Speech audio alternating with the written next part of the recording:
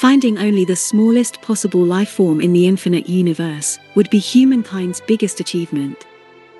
With the infinite amount of stars in the observable universe, you would almost find it impossible to not believe there is more than us. Are we alone in the universe? No one knows for sure.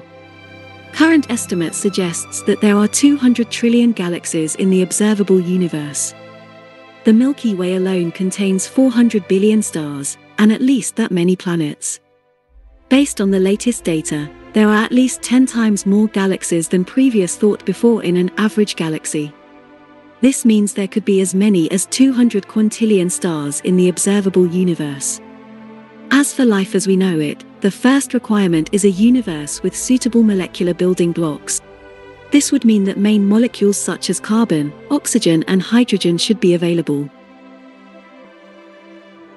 Scientists have already calculated that there could be around 40 billion Earth-sized planets in the total universe, but there is more needed when it comes to the ingredients for life.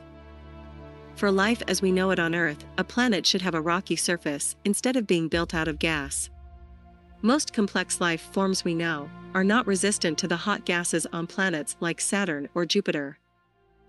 Next to that, it will be important for the planet to have the right temperature, which is caused by the right distance from its nearby star. A too cold or too hot planet won't make it possible for Earth-like life forms to survive. Furthermore, the planet should consist of some form of magnetic field or atmosphere to protect the planet from space radiation, the size of a planet can determine its magnetic field, but is not an independent factor. Last, but not least will be the presence of water. Without any water or the possibility to make water on a planet, it will not be possible for life to sustain. With these called ingredients for life, scientists have already discovered some potential planets that could be the home of extraterrestrial human-like species. One of these planets is Kepler 62f, which is about 1,200 light years away from Earth and is 40% larger than Earth.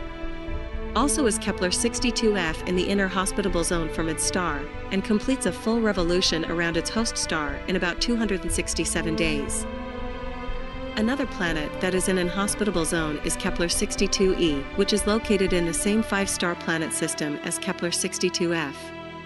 It is 60% larger than Earth and orbits every 122 days. Next to that is Proxima Centauri b, for which NASA already plans to launch Discovery probes in search for biosignatures.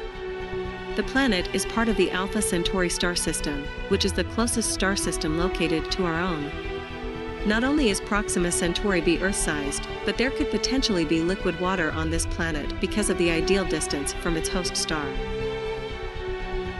So on the question about if we are alone in the universe, just imagine taking a bucket of water out of the Atlantic Ocean and say there is no fish inside.